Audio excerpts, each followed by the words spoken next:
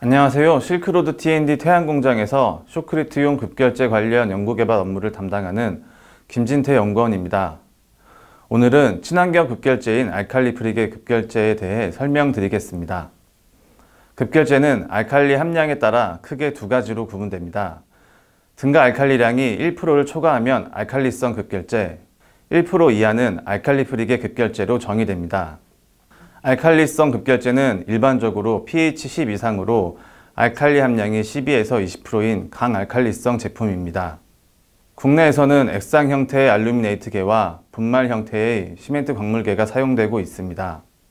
알칼리 프릭의 급결제는 액상 형태의 알루미늄 화합물로 구성된 제품으로 기존 알칼리성 급결제의 문제점을 보완해 국내에서는 2000년대 초부터 사용되고 있습니다.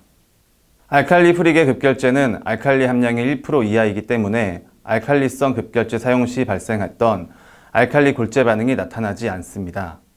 쇼크리트의 다공질화로 인한 장기 강도 저하가 없어 우수한 내구성을 확보할 수 있으며 지하수를 통해 용출되는 급결제의 알칼리 성분에 의한 배수관 폐색 현상도 저감시킬 수 있습니다.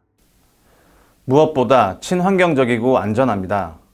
알칼리 성분이 없어 작업자가 화상을 입을 위험도 없고 육각 크롬 등 인체에 유해한 중금속도 함유하고 있지 않아 친환경적인 제품입니다.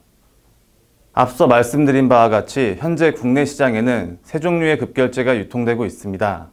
알칼리 프릭의 급결제는 다양한 장점을 통해 최근 2년간 시장 점유율 60%를 차지하고 있으며 알칼리성 급결제인 알루미네이트계 급결제와 시멘트 광물계 급결제는 각각 20%를 점유하고 있습니다.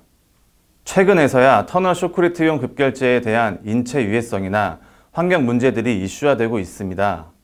하지만 터널 현장 근로자들은 아직도 굉장히 열악한 조건 속에서 작업을 하고 있습니다. 근로자의 작업 환경을 향상시키기 위해 친환경 제품 사용을 권장하고 사회적으로도 제도 개선이 필요한 시기입니다. 급결제를 연구 개발하는 위치에서 더 좋은 제품을 개발해 터널 현장이 좀 더 나아질 수 있도록 힘쓰겠습니다.